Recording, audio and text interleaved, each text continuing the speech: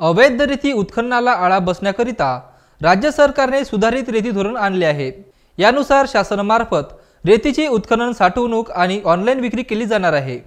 यात सहाशे रुपये ब्रास दरप्रमाणे वाळू ग्राहकाला दिली जाणार आहे. परंतु अजूनपर्यंत कुठेही अशा प्रकारची वाळू विक्री सुरू झाली नसल्याने ग्राहकांना जादा दरात वाळू विकत घ्यावे लागत आहे.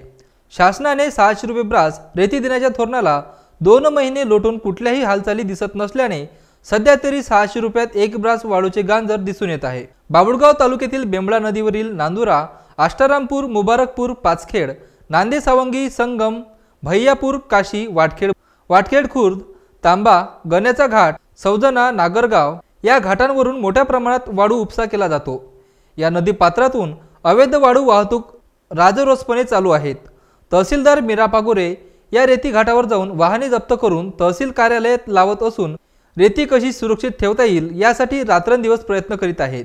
रुजू झाल्यापासून आतापर्यंत सहा ते सात अवैध रेती वाहतुकीवर कारवाई करून लाखो रुपयाचा दंड वसूल केला. परंतु रेती माफियांच्या नेटवर्क समोर महसूल यंत्रणा तोगडी पडत असल्याचे चित्र दिसून येत आहे. त्यामुळे रेती डेपो सुरू होण्यापूर्वी वाळूघाट रिकामे होण्याच्या मार्गावर आहे. त्यामुळे शासनाने त्वरित हालचाली करून रेती डेपो सुरू करून ग्राहकांना सहाशे रुपये ब्रास रेती उपलब्ध करून द्यावी अशी नागरिकांची मागणी आहे.